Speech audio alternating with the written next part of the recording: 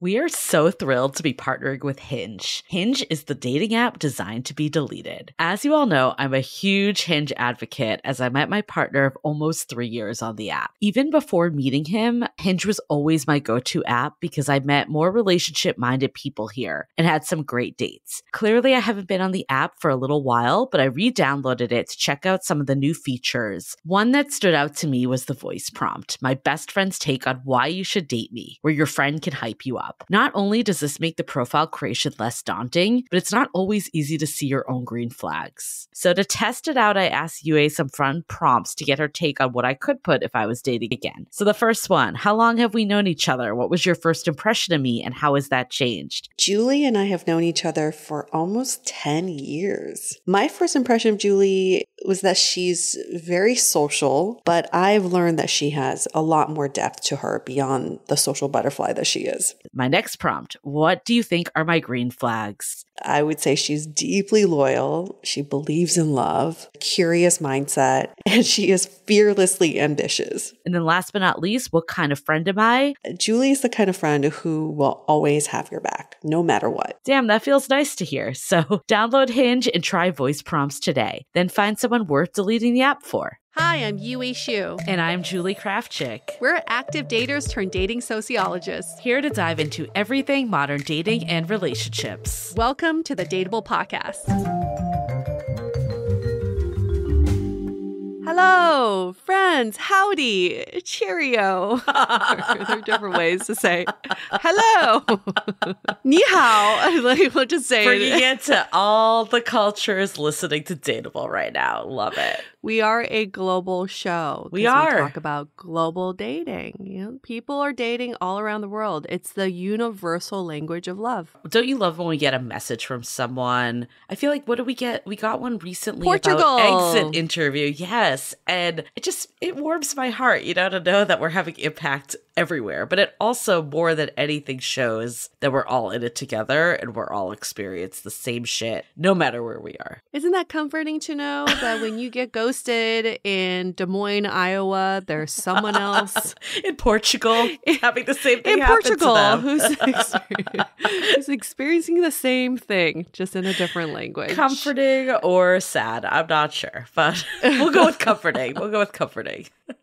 well, this episode is comforting. I Oh, think this episode yeah, will be is. comforting for many people. This listener reached out to us Mhm. telling us that he was part of the incel group. And the more we spoke to him, the more we realized I would not consider him part of incel. And we want to set him free from that identity. And it's really about how your past and how you look at your past identity that's holding you back. And I would even go as far as to say how your past is robbing you of your future potential. Absolutely. And just to more context, we got this in response to a very popular episode last season, The Rise of Lonely Single Men, that we did with doctor mm-hmm. Greg Matos, And he got a ton of backlash from this. I don't know why this came up recently, but I was searching for his article again and I mm-hmm. saw a New York Post article that was basically like, therapist slammed for, you know, Yeah. saying all this nasty shit. And it's like, he didn't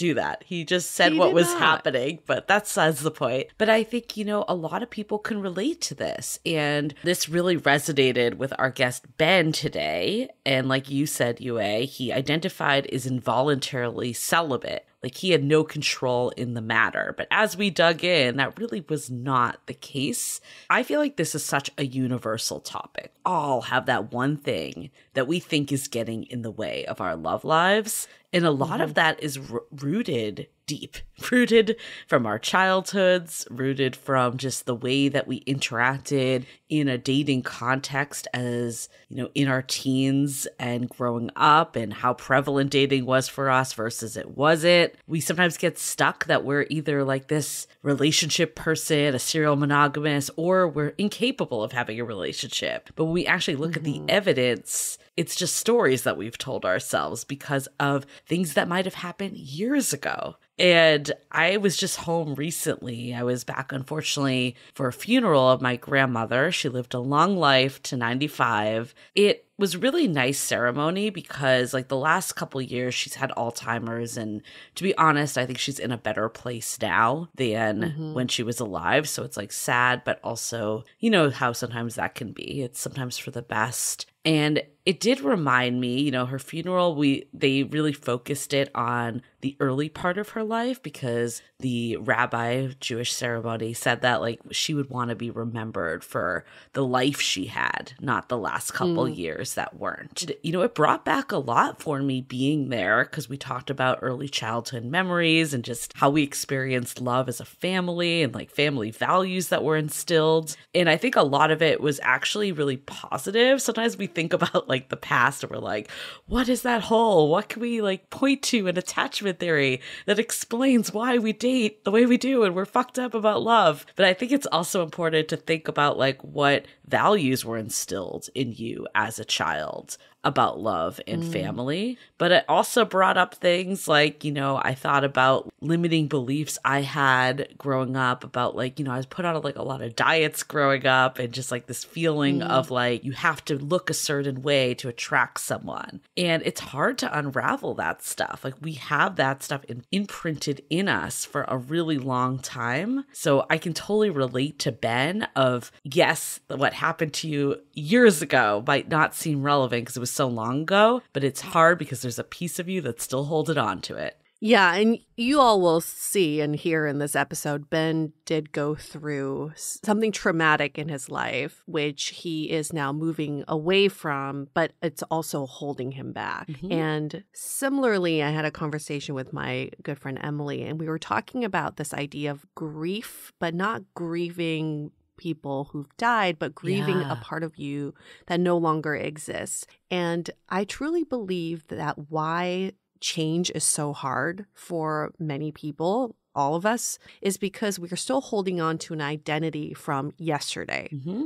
And we can't look past and think about what could my identity be tomorrow. So we don't grieve the past us which makes it hard for us to move on.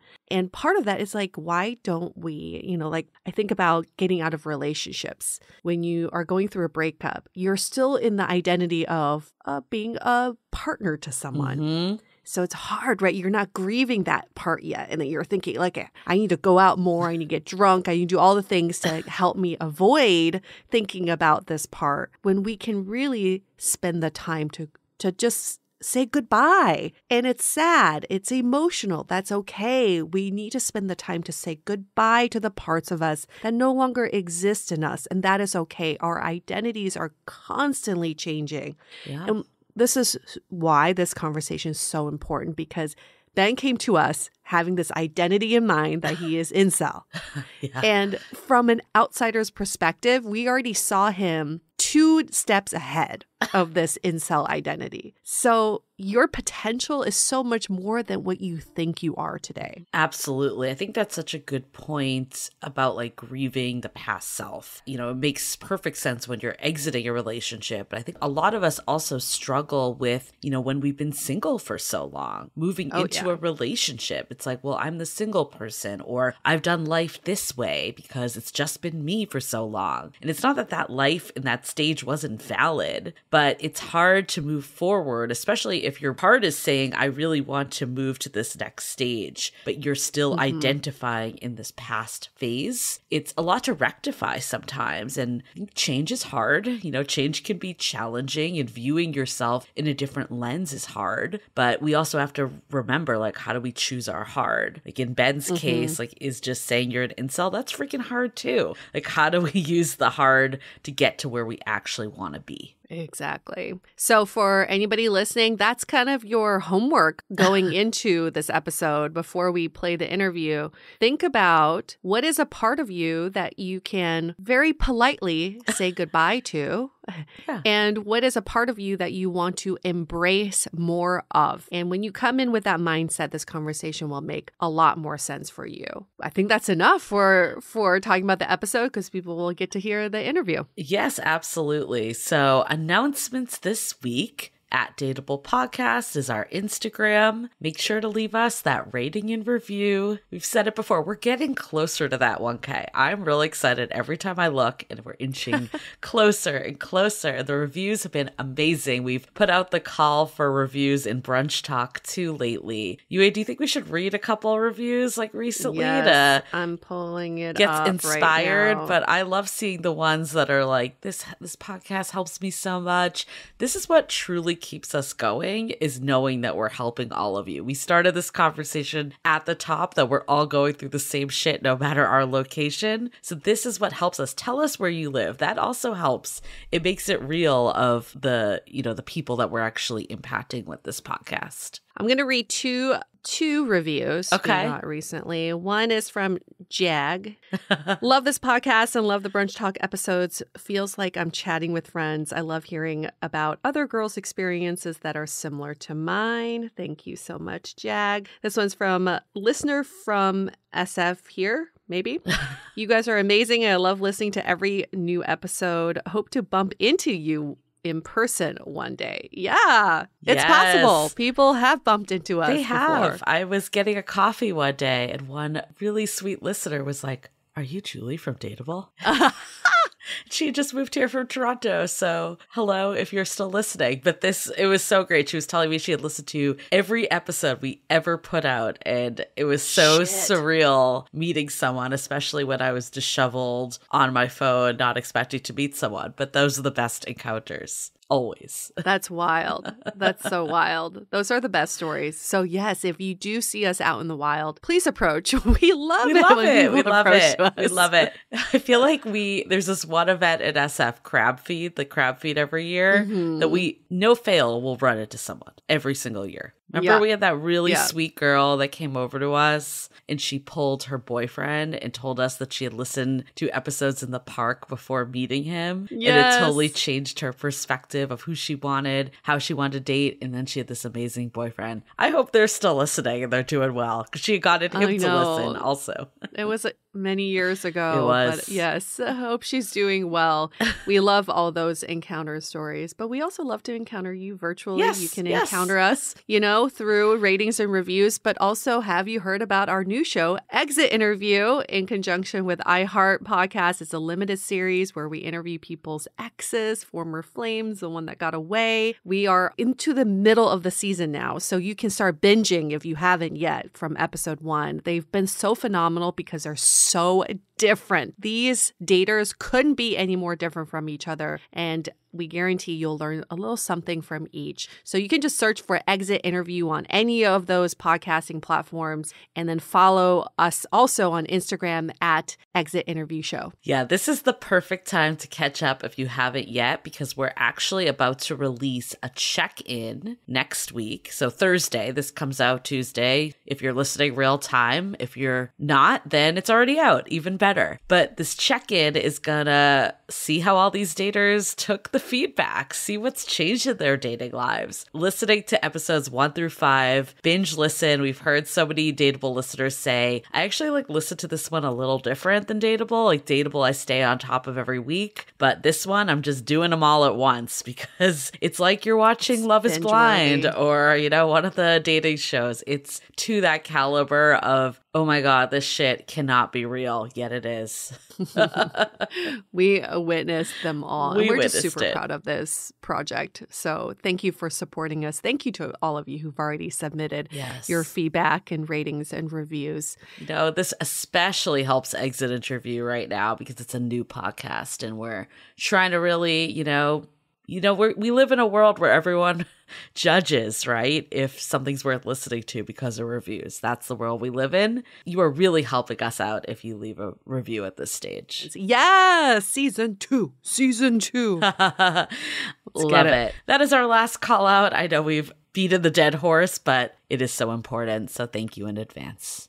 Okay, well, before we get into it, let's hear a message from our sponsors. This episode is sponsored by Viia. We all know there are things that can help set the mood in the bedroom, but did you know a little THC could also do that? Yes, Viia has developed a unique blend of pleasure enhancing cannabinoids, libido strengthening herbs, and a low dose of THC all into one mind blowing gummy called High Love. This gummy, wow, it will awaken your senses, increase blood flow, and intensify any sexual experience. I've been pleasantly surprised by the High Love gummies because it is just the right amount of THC for me to have a good time without feeling sleepy. And hey, if THC is not your thing, Viia also offers a wide array of other gummies without it. And everything legally ships in 50 states with discreet packaging directly to your door. So if you're over 21, you can get 15% off and a free pack of award winning Dreams THC plus CBN sleep gummies with our exclusive code DATEABLE at viahemp.com. That's V I I A H E M P.com. Let the gummies work their magic. Head to viiahemp.com and use the code DATEABLE to receive 15% off and one free sample of their Sleepy Dream gummies. That's viiahemp.com and use the code D-A-T-E-A-B-L-E at checkout. Take your passion and pleasure to a whole new level with high love from Viia Hemp.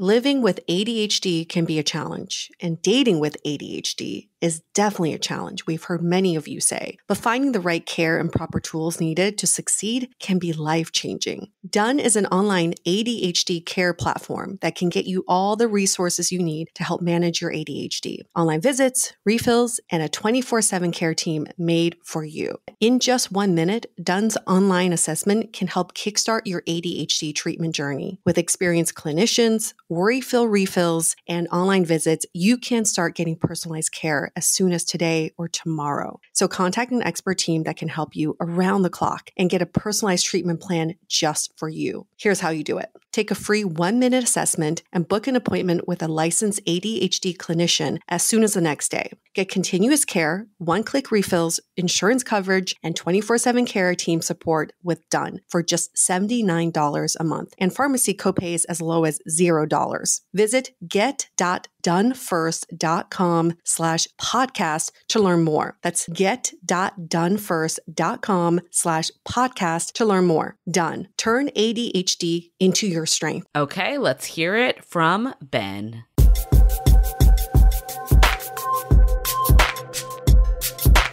We absolutely love hearing about how our listeners are dating. This is one of our favorite things. As much as we love experts and science and data, there's nothing better than actual data, which is your personal stories. And today we have a personal story told by one of our listeners, Ben. Welcome to our show. Thank you. I'm so excited to be here. Thanks for having me. And you wrote in in response to an episode we did called The Rise of Single Lonely Men with Dr. Matos. You have a lot to say about that episode, so we'll get into that. But who is Ben? That's what we want to know. He is 28 years old, lives in Pleasant Hill, California, originally from Richmond, and single and actively going on dates. So, this is what you wrote in a 28 year old incel who is actively dating, but starting to worry whether something is wrong with me. I heard your episode with Dr. Matos and wanted to tell my dating story in case another lonely man is looking for solace in a similar way. Tell us about your experience dating. Well, unfortunately, I uh, encapsulate a lonely single man, and I've been actively dating for a while, but haven't really found any success, to be honest. Doing the dating apps mainly. I've recently got off the dating apps because of my lack of success. I've been dating for a while without any results. What do you think your biggest challenges on the apps? Finding that genuine connection. I mm-hmm. get a lot of first dates. Okay. And yeah, I'm pretty easy to communicate with and never really have a problem with getting dates, but it's finding something more lasting that goes beyond the first date. I mean, maybe I get two or three, but it always fizzles out. Mm. And I'm just kind of left wondering why. I don't know. I'm curious when you heard that episode we did with Dr. Matos, because he does give some sort of solution or a way out. What were your thoughts when you heard some of his tips and advice? I think listening to his episode just made me realize that it's a trend in modern dating and that I'm not alone because sometimes I, I do feel very alone Mm-hmm. just because my friends that I surround myself with don't really have this problem. And when I bring it up, their friends and acquaintances, they're always like, wow, I can't believe that. Mhm. So it kind of makes me feel like I don't know what the answer is here. So I think just listening to his episode gave me a little sense of relief in that I was kind of able to just realize that, yeah, I'm not alone in this. So we talk about dating and getting past the first date, which honestly we do hear a lot from both men and women, not just Mhm. single lonely men. You know, I think it's something widespread in today's dating culture that it is hard to meet that meaningful connection. Like why do you think you're kind of feeling like I feel like you use the word, I want to quote you exactly. Use the word that you're feeling like something's wrong. Mhm. Like, why do you think you're feeling that way? Like, what's been the rest of your relationship history, sexual history? Does it go beyond just dating? It's been a clean, cold slate all across the board romantic relationships, sexual relationships. I used to play baseball, and I kind of think about it like, man, if I couldn't throw a strike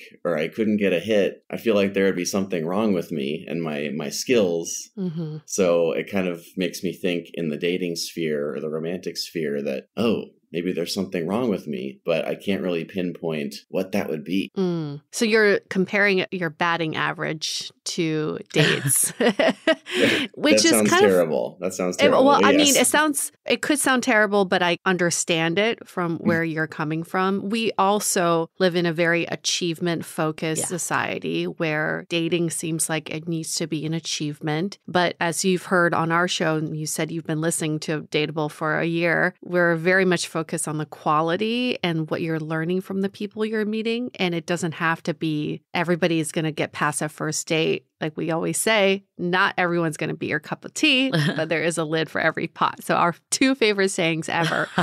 But you do describe yourself as incel. What does that mean? What does that definition mean to you? Well, I've been actively dating for a while now with the goal of finding a connection, whether that be sexual or a lasting romantic connection. Ultimately, I'm looking for a lasting romantic connection with someone. I unfortunately have been trying, but just have been, I guess, failing at that. So the term incel means involuntary celibate, and hmm I guess that's what I would be. And I also use that term just because I feel like people maybe associate that term with a bad person these days. Mm. Mm. So I want to dig into that more because I do think there is this connotation that a lot of incels are men that blame women for their lack of success Yes. with dating. Mm.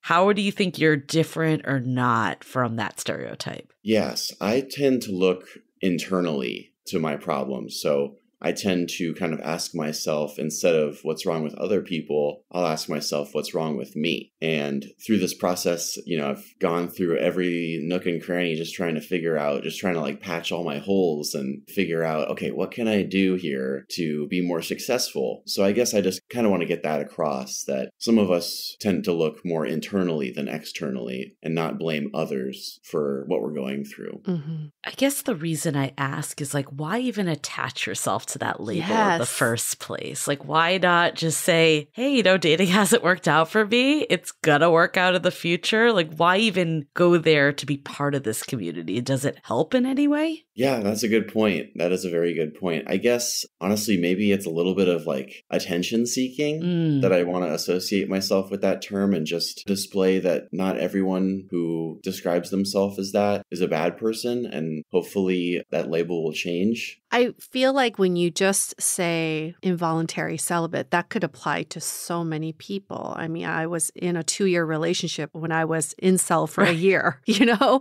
But if we're looking at the definition in terms of what it means as a slang term in this society, it's the hostility towards women, it's the involuntary celibacy due to hostility from women. Mhm. So I am also very curious why you would want to attach yourself to this group when what you're really describing is what so many daters are going through, men and women. Now that you kind of illustrate it like that, I don't really know. But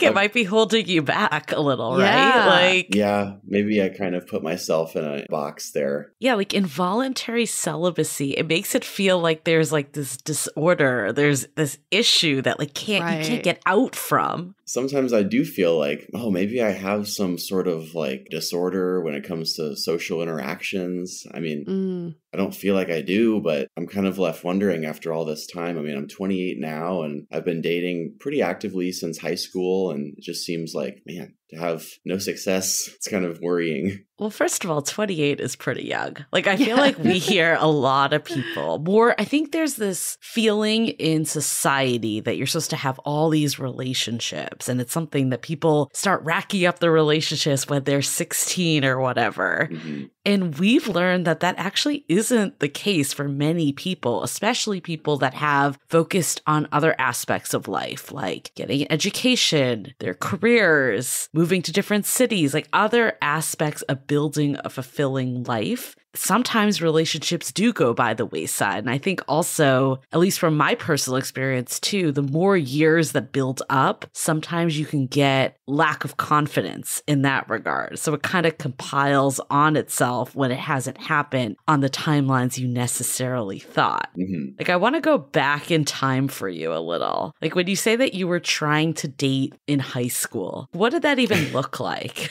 I think Tinder was very young when I graduated high school, the app itself. Wow. I graduated in 2013, and I think it started maybe a few years before that. I feel real old right now. Oh, yeah. Tinder yeah, was I- definitely not there in high school for you, A and I. maybe a good thing ultimately. I don't know. Oh, I can't imagine using Tinder in high school. no. yeah, senior year, I think that's when I downloaded it, and it was like just a whirlwind. It was something so new to me because I had Facebook in high school, but I have never been a social media person. I've never had an Instagram or a Twitter or a Snapchat. And just talking to random people that you don't even really know and swiping all day. I mean, it got very addictive. And that was kind of the start of my dating experience. I was definitely very reserved in high school. Mhm. I was a little overweight, and that definitely Mm. contributed to my shyness or reservedness. I dealt with some health issues in high school, and that was part of it. I had to be homeschooled at a time too. I was really just figuring myself out there, and I felt like I started kind of late in the game because most of my friends were having romantic experiences way younger than that, but I was still trying to like just figure out myself. It's hard to really understand the whole picture when you're so in it right now. And I really think in 10 years, you're going to look back and say, I had to go through that. Just like how you're thinking about your time dating in high school, how you became less reserved from your experience with Tinder. I think you're going to see the benefits of what you're going through in this season of your life. But I do wonder, though, if you know, dating oftentimes we talk about as a self fulfilling prophecy. And when you call yourself an incel, when you Yeah. put yourself in a group of people who are unsuccessful dating and can't get past first dates, then that's all you're focused on. And that's what's going to happen for you. Mhm. Have you tried other ways of changing your perspective on dating? I think recently, yeah, I've done a lot better of a job through this process of not being as successful as I've wanted to be. In a weird way, I've gotten more confident in myself because I've kind of patched some holes that I thought were there. I've kind of expanded my horizons in certain ways because I have a lot of free time and a lot of time to work on hobbies and stuff like that. Recently, I started to go to a therapist Right. and talk to a therapist about this, mainly this issue. And I think it's been really rewarding in terms of my confidence and just kind of feeling comfortable in my own skin. So, in a way, yeah, I totally resonate with what you're saying that I think in a few years, I'm already kind of realizing that this hardship, I think it's, or I thought it was a hardship, but it's really turning into maybe something that is helping me grow Mhm. a lot more than I would have if I was having success in the dating realm. I hope this doesn't come off weird, but I feel like you're like a good looking guy. Like there shouldn't, you know, it's You're like a there's catch. right. Like Yeah. it's not like we're looking at you. There's something like fundamentally wrong, right? I think you're just holding on to the past in an image of yourself that doesn't actually exist today. I'm curious about you said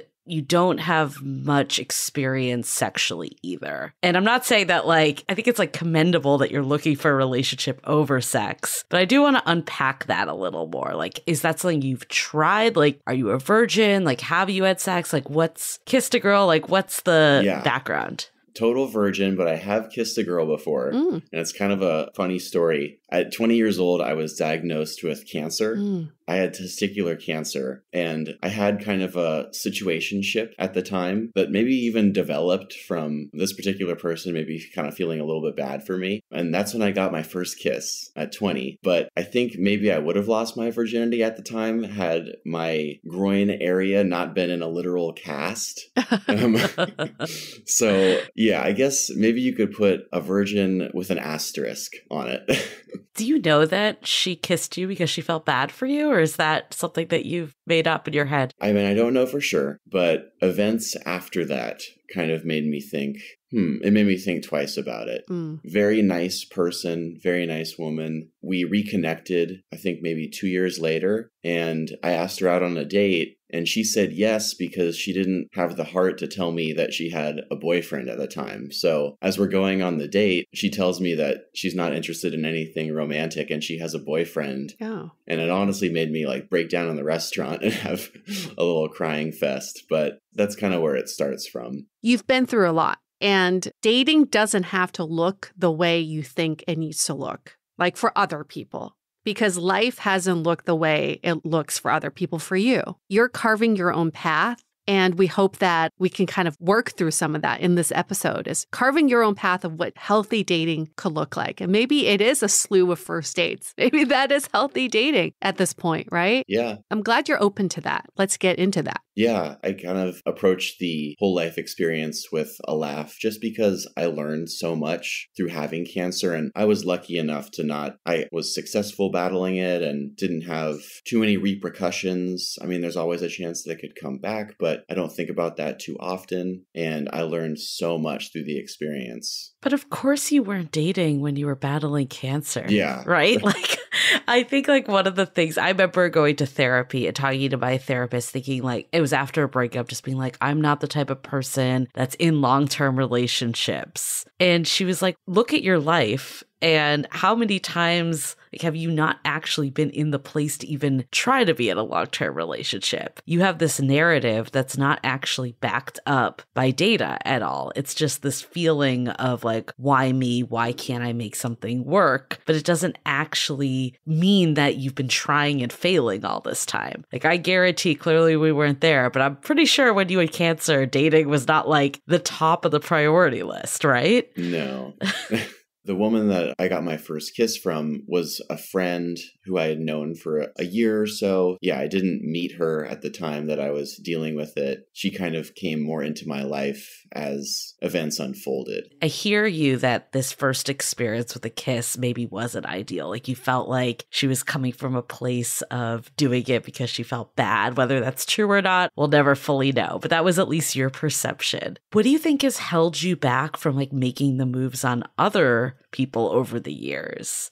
I am more of a shy, introverted person to start, so it's not really in my character to go out and talk to a random stranger on the street. I mean, I'm doing better with it. Recently, I've kind of given myself some challenges, New Year's resolutions, kind of, and one of them is just to talk to strangers. And I try and I have a little checklist, so I like checking those boxes, and I've just kind of worked up to like asking someone if they are interested in getting like a coffee or if they know of a coffee shop. So just kind of taking baby steps to put myself out there a little bit more. But y'all ladies, you're intimidating.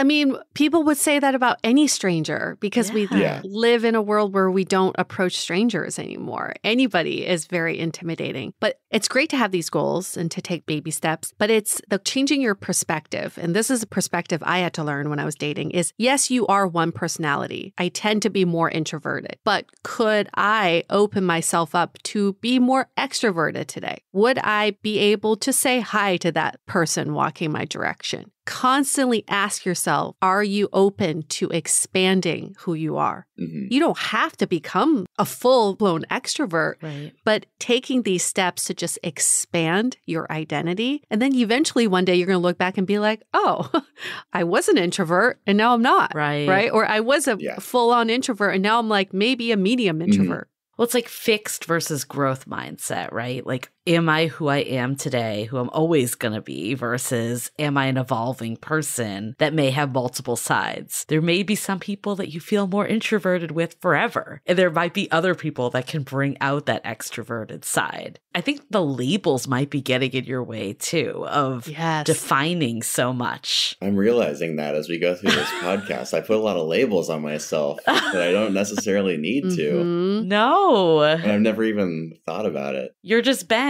right? Right. yeah. Or change your name. Whatever. The See alter if you're open to being something, being Michael. I don't know. So Yeah.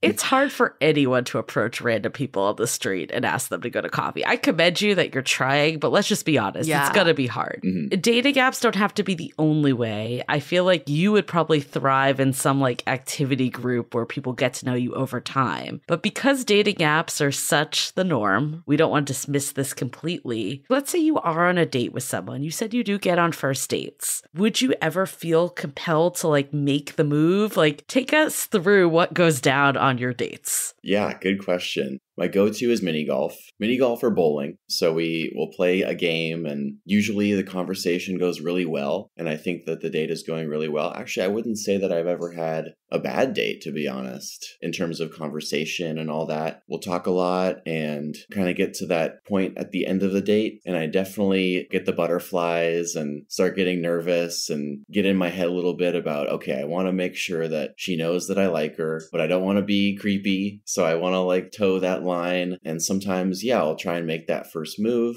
I remember one time I even asked a girl if she was okay with me kissing her, and she said, uh, no. so that didn't work out, but I learned a lot. And recently, one of my friends told me to make sure that she knows that you are attracted to her. So I think at first I didn't do a good job of that. Maybe being more friendly instead of romantic. I haven't gone on a date in a while because I've actually taken a break from the dating apps. But when I do go on another date, I want to emphasize during the date, at the end of the date, that I think the woman's really cute. I want to get to know her more. I think in the past, maybe I overlooked that or maybe even thought too much and froze myself. I think your problem is mini golf or bowling. yes. Like Yeah. that's your problem right there. yes. Ding, ding.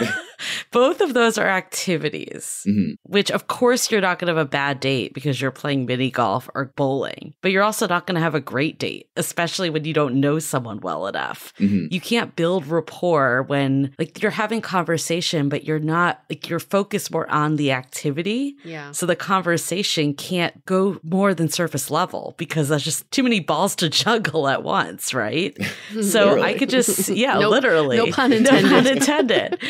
But I could totally see like playing mini golf with someone, having a surface level convo. It's all fine and good. And then you don't feel compelled to make it romantic. And if someone was to make that move, I feel like I would be taken off guard, even if I like like the person, because that rapport has not been built over the date. This is a great second or third date. But how do you have a date that you can like build the rapport and also just show someone who you are a bit more than just the activity that you're doing? I guess I have a hard time thinking of something that's not an activity because I don't drink. We could go to a restaurant or something, but at first I did that a lot and would always pay. Mhm. And I just kind of got tired of paying for so many first dates Yeah. with no benefit.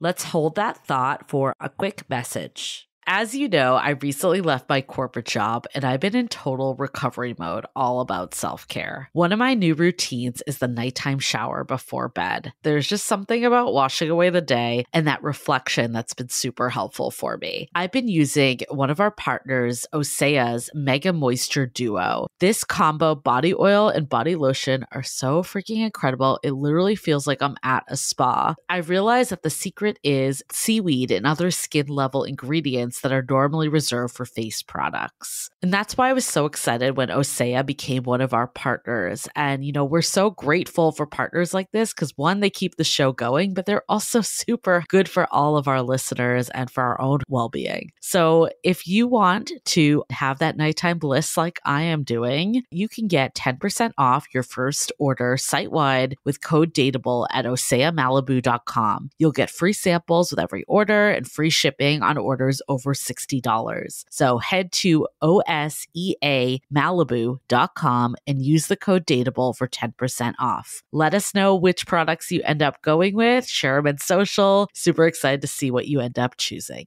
Let's keep talking about this first date thing because I think you're putting a lot of pressure on the first date. And I used to dread when someone asked me out on a mini golf date. I don't know about you, Julie. I used Yeah. to dread it. I'm Especially like, oh someone my I didn't know. Yes. As a first Yeah. date, because I was like, I would think, wow, it's a lot of effort. it's just we have to and you're stand the whole stuck. time. You're stuck. the conversation doesn't get as intimate. So many freaking distractions around you. Balls everywhere. Yeah. like Julie said, her favorite thing, balls everywhere. But if we m- remove the activity out of it, and I think the second thing that you're very much focused on is how to get a good grade on this date. I don't know if that's the best way to put it, but you're like, oh, I need to tell her that I think she's pretty. I need to let her know I'm into her. You're telling us all of this about a future date that I don't know if you would think she's cute. I don't know if you would actually like her, right? The date is a two way street. It's a time for you to also understand that person and want to see them again. Not everybody you go on a date with, you have to get a good passing score so that they'll see you again. It's not about them, it's about you. So, a good environment for something like that, like you were asking, if you don't drink, I think bars are still fine. Bars are great for you can have a virgin drink, you can have some water, you can have a tea. I've definitely had some of these like non alcoholic drinking dates at bars. I've also done the park date. Mhm. Park dates are always kind of cute. You can be like, I'll bring us some hot chocolate. Dessert bar. And we can just sit there. Oh, okay. All right. Like I think yeah. Ante up. Yeah, I think Okay. what's nice about a bar, and I totally hear that I don't drink, so you have to decide like, are you comfortable doing that? Because everyone has different comfort levels. But what's nice about a bar, drinking aside, is the environment. You're sitting side by side. Yeah. It's dimly lit. It's more conducive to romance, right? Than like being out in broad daylight at the mini golf place. Like it's just or bowling, right? Like it's just there's something about the environment that does play in. So how can you find other environments like that that could bring that? I think Mhm. talking side by side, there are studies that it actually makes people open up better than sitting face to face. oh, And I would imagine like talking on the move would be even harder, right? Like that's just too much to focus on at once. Mhm. So I think I agree with you, A. It's like the first date, it's simply a meet and greet. It doesn't need to be this big thing. And by making it less of a thing, you can also just see do I like this person enough that I want to see them again? And then you can keep progressing and it will give you the confidence too a bit more instead of going from this like bigger activity to nothing. no, those are great points. And it makes me want to go on another first date so I can fix, There you the- go. fix this. right?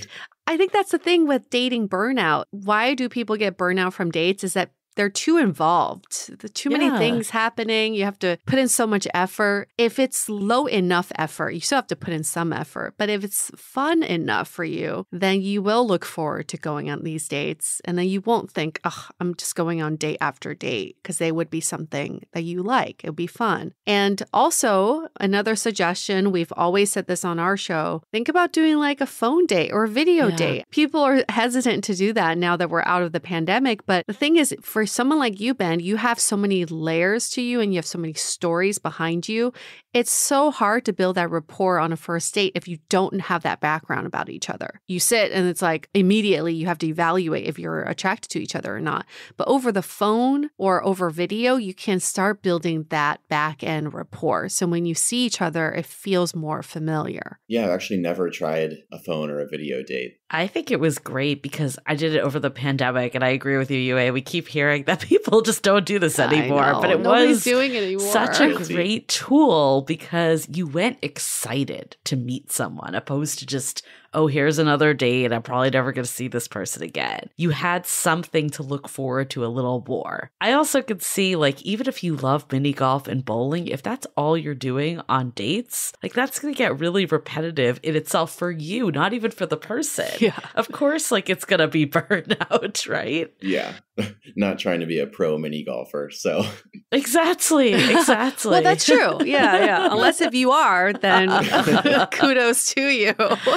but since you're not, maybe um, you don't have to do that every time. yeah. How do you end your dates? What usually goes down? Usually walk them back to their car, mode of transportation, exchange a few pleasantries, and I don't think I've ever kissed a girl on a first date. Maybe a, a kiss on the cheek or a hug, and that's kind of how it ends. I like to see you again, is usually what I'd say. And if it went well, if it went really well, I like to see you again, and I would like to learn more about you, stuff like that. I mean, for you, I think having like indicators of interest that are more subtle to build up to it could be a really good thing too. Mm-hmm. Like now that we're, you know, quote unquote out of the pandemic, I never want to say that fully, but that's what everyone's mentality is. People are down to get touched again, right? So, like, if you are sitting side by side, it makes like a light knee slap or like some subtle touch on the arm or nothing too aggressive, of course, but something to just feel out the other person. Like, are they into this? Like, if they cringe, move backwards, then you know that like you're not going to make a move and try to kiss this person. Yeah. But if they're good with it or they start doing it to you too, then it's like, okay, game on.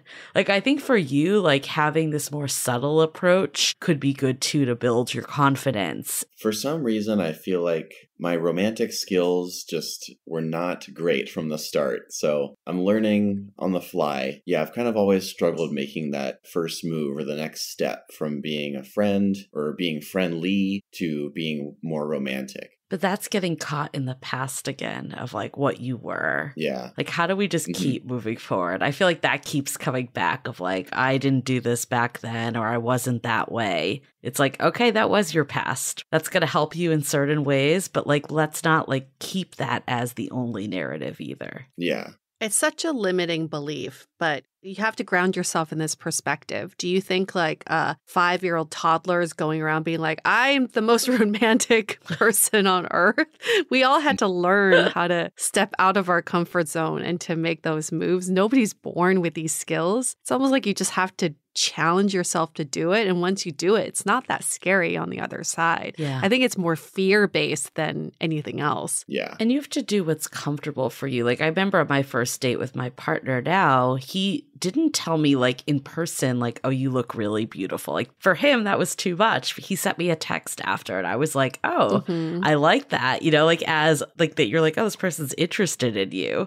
So like you can with technology that could be the good use of technology. If it is too much for you to do something, like you can always do it in a different way. Like how do you start to just keep taking baby steps and look at it almost like this date with a scientist mentality of I'm going to try things out and if it feels good, I'll keep going, push myself more. If it doesn't, then maybe that won't be in my toolbox. I've definitely tried some stuff in the past that hasn't worked out, like asking the woman if she was wanting a kiss, and that didn't work. But yeah, I'll definitely take that to mind next time. I'd say though, it's not, it didn't work out because it didn't get you the result you wanted. That's the shift. Mm. Like, did it not work out because it didn't feel authentic and good to you? Or did it not work out by your definition because she didn't return the sentiment? Yeah, I think maybe a little bit of both. It kind of felt like maybe I was giving myself an easy way out by not really demonstrating my confidence as much. I think a more confident person wouldn't have asked that question and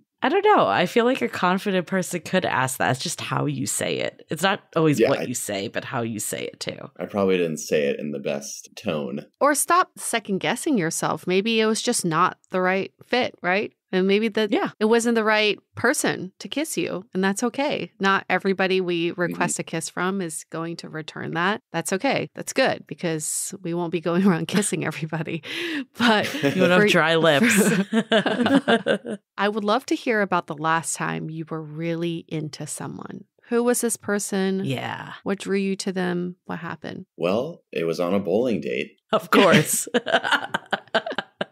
it was right around the turn of the year, 2022 to 2023, and we met up for the first time at a bowling alley. We had been texting a fair amount before that. That went really well. We even played games after. We played ping pong and arcade games, and the date kind of lasted like well on into the night. Went back to the parking lot and had a great conversation, gave her a kiss on the cheek, and everything seemed to go really well. I was really attracted to her. We texted a fair amount after the date, like the first few days after, and then she hit me with a text that said something like, I'm not looking for a romantic connection right now. And I was so surprised by that because I just thought that everything was kind of trending in the right direction. Everything seemingly was going so well from my perspective. And that was kind of a hard pill to swallow. So actually, that date is kind of what made me think about seeing a therapist. Mm because I was talking to one of my friends. I was a little bit depressed from that date yeah. and then not really having any results in the past, just kind of getting in my own head about maybe something is wrong with me here. So that kind of spurred me to go seek out help from therapy, which I'm thankful that I did. It's never easy to take on rejection. It's never an easy thing. But also know, I think what's exciting about that story is that you were able to open yourself up and really like someone and communicate that. It just means imagine the next person you meet that you feel that way towards can return those feelings. How amazing that would be. It's like everything we do is a stepping stone for the right yeah. person who is just right around the corner for you, really. But we can't let these moments hold us back. It's like, how can we use these moments as stepping stones to getting us back on track? Yeah. So I'm glad that you're in therapy. Sometimes you have to be like, okay, why did that happen to me? Well, it happened to me because it helped me get into therapy. Great. That's a great step, right? That's yeah. such a great learning. I think the next step is you're stilted right now. You're like, ooh, action, inaction, action, inaction. Mm-hmm. I feel a little motivation after this conversation. but what else is holding you back from just leaping back into dating again? To be honest, nothing really. Okay. Just kind of the, the fact that I've deleted the dating apps, not permanently, but just as a little break yeah, I'm definitely open to it. I mean, I think with the story you told, right? Like, you never know where anyone is in their dating journey. We have no idea what was going on for this person. It might have zero to do with you. We really have no idea. Yeah. People are using dating apps for all sorts of things. She might have been seeing another person in the mix. Maybe she just got out of a breakup and is burned. We have no idea, so it almost doesn't matter. The only person we can control is ourselves. I think that if you need to take a break from dating, like, that's healthy, that's good to reset, but I also don't want you to just like delete apps because like there's been a bad egg or like someone that like didn't have the same sentiment that you did or things didn't go the exact way that you did. I feel like you're the type of person that does good with like milestones, but what's getting in your way is that you're not meeting the milestones you want to of getting that next date or having a relationship or having the sexual partner whatever it is. Like how do you start to like rewrite your narrative and look at like other milestones you can have? Like Yue was saying like you express that you like someone. Like that's a good step. What are some other steps that you can do that are like totally in your control that you can kind of hold on to as success the first one that comes to mind is asking someone out in person, mm. displaying that confidence and curiosity about someone who I would like to get to know more. That is what I'm ultimately working towards, and kind of why I deleted the apps because I want to push myself to be that person who is confident enough to ask out someone. Okay. I think I would be in a lot better spot to start out if you meet someone in person rather than develop a connection through a phone at first and then go play mini golf, go bowling. And it's just, it's kind of getting off to a bad start, I guess. Okay, so if that's your goal, then the goal really has to be to ask someone out. It cannot be that they say yes. Mm-hmm. Mm-hmm. Right. Yeah. We have agreement on that? Okay. Yeah. Right. we can't control what they say. For everything that you see as a flaw or something that's holding you back, there's a flip side to it, right? You're an incredibly sensitive person. You're incredibly respectful and thoughtful and innocent. I think innocence is like people want to date Mm, someone that so hasn't great. been with a thousand other people, right? Like that's a positive. Like, how do you start to rewrite this narrative? Because I think what we've gathered from this conversation is you're clinging to the past, you're clinging to a lot of labels and stereotypes. If you were to like say like what you bring to the table right now, this is like a mini therapy session in itself. What would you say? I would say that I'm a great person and that I try and be uh, nice to everyone I meet. I try and have a good perspective on life and not get down in the dumps. I have a good job, a fun job. I kind of have most of the boxes checked that I want to have checked right now. Have some fun hobbies that I work on in my spare time. I feel like I'm an interesting person because of my jobs and hobbies. It's I love tough this. to talk about yourself. It's tough to talk It about is tough to talk but- about yourself for sure. Any women in Northern California want to sign up for Ben? just Call let us know. You can email us. I mean, the thing is, wait, just on paper, you're already a catch. And now we talk to you, you're even more of a catch. You're also forgetting that you're articulate, that you're Yeah. working on yourself, you're doing the work, you're going through it. I think these are more important qualities than anything else because that can't be taught. It's not like a job that you can just teach yourself a skill and you can do this job. Doing the work, damn, you really have to be in the right mindset for that. So good for you on that. You always say, like, oh, I'm not as confident. What if you say, I'm confident, but I could be more confident? Yeah. Yeah. right? Don't undersell yourself. I'm a confident person, but some days I feel like I could be even more confident. There you go. Mhm. You're not trying to fill in any gaps there. You're just trying to add more to who you already are. Your relationship with yourself, I think, is the most important thing right now because we started this conversation with you being incel, and by the end, we realize you're not, or at least I don't think you I don't think subscribe you are either. Yes. at all. I don't think that's your group. That's not your posse. and I think that that really shows the disconnect between who you think you are and who you actually are. this podcast has definitely helped me think about things in very different lights. So I'm very thankful for that. Good. Through this process, I've definitely learned so much about myself and worked a lot on myself. So it's kind of like the cancer story. I'm ultimately thankful for being able to kind of go through this hardship and being able to Yeah. learn from it. Mhm. Because I feel like I've done a good job of not getting too down, finding the help Mhm. when I need it through friends or a therapist. These days, I'm really starting to feel like I'm getting comfortable in my own skin. That's the most important thing. I mean, I think this has been such a great conversation. It's really fun to go through the thought processes. Maybe at least fun for you and I. it's tough, but yeah, it's fun. You're like, I don't know if I describe this as fun, but insightful. We didn't even record this episode. We're just It's just for you and I's own enjoyment. That's it. I'm just kidding. No, but I think a lot of people have these inner monologues. I know I've been there before, and we always focus on what we don't do enough and what we don't have. And like, how do we flip the script to what we do have, what we bring to the table? And like Yue just said, like, we can acknowledge that there's stuff we want to do better, but that doesn't mean that we're not sufficient at all in that capacity. Yeah. So, so much of dating is the mentality that you bring, how you show up on dates. And I think that's mentally how you show up and also physically, and not physically how you look, but the environment, the vibe that's being put out there. We've established maybe there's other ways that you can build connection through environment alone a little more. My other like major takeaway is so often, I've been guilty of this too, is we get stuck of a vision of ourselves in the past. We attach labels that don't need to be there. And like, how do we let go of who we were at one stage of life and just say, okay, that's not who I am today. I'm evolving. Who I am today isn't who I'm going to be tomorrow. And that's a beautiful thing. And it doesn't need to prevent me from what I want because I haven't been able to get it in the past. I'm definitely my own worst critic. Mhm. We all are. Sometimes that can help in like really self evaluating and figuring out what needs to be done, but most often it really gets me into my own thoughts in my own head and I tend to overthink things. This conversation has really helped me Yeah. kind of realize where I'm overthinking, also where I'm a little bit underthinking, like Yeah. mini golf and bowling.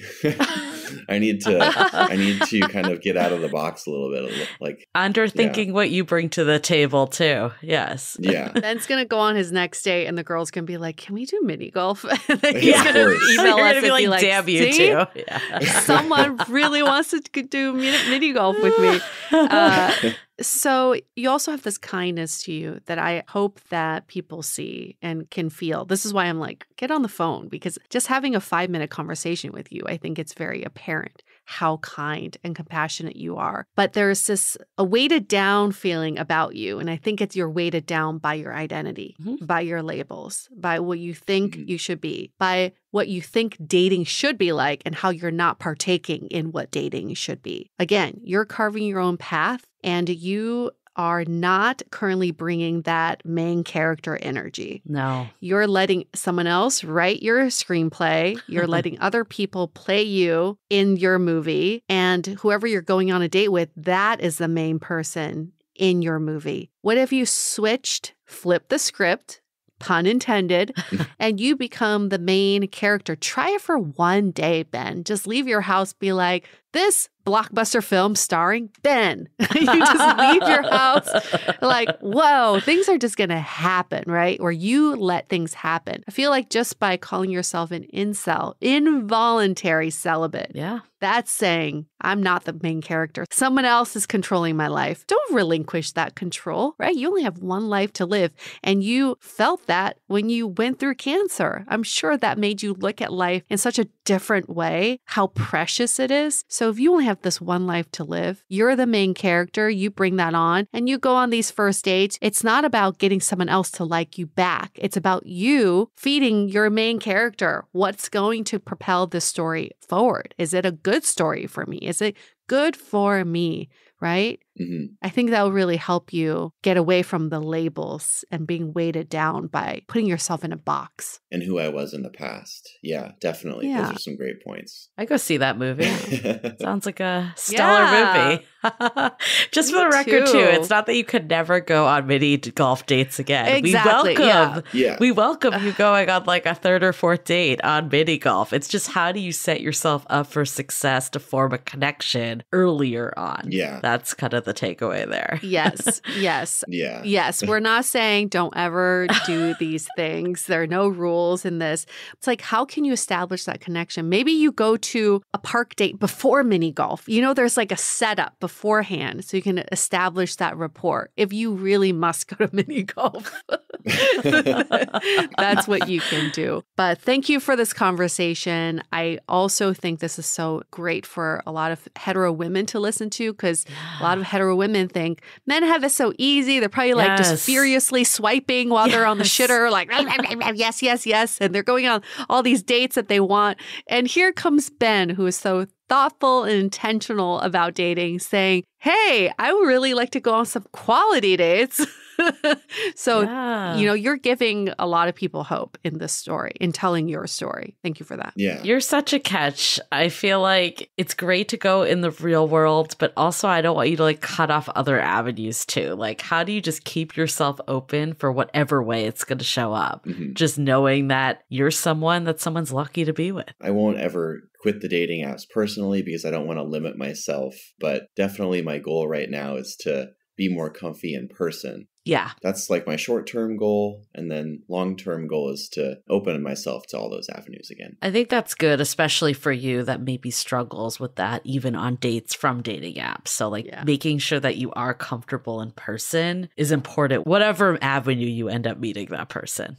We feel super comfy with you. So that's good. Mm. We're friends now. Nice. And Thanks again for sharing your story and your perspective. We want to thank our listeners for listening in. What did you learn from Ben? All of you listening at home, what did you learn? I'm sure this is such a relatable situation for so many of our frustrated daters. Let us know what you learned. You can tag us on Instagram, you can email us, hello at Dateable Podcast, or you can leave us a rating and review and then tell us what you learned there. Give us five stars and say, Ben taught me this, or I realized this about about myself there. It's a great forum to share your learnings and giving us five stars in the meantime. All right, we're going to wrap up this episode. Stay, Stay dateable. The Dateable Podcast is part of the Frolic Media Network. Find more podcasts you'll love at frolic.media slash podcasts. You can follow us on Instagram at Dateable Podcast and visit dateablepodcast.com for access to all the episodes and our premium programs. Also, make sure to subscribe today if you haven't already on Apple Podcasts, Spotify, or your favorite podcast platform so you are the first to get all the latest episodes. And most importantly, stay dateable.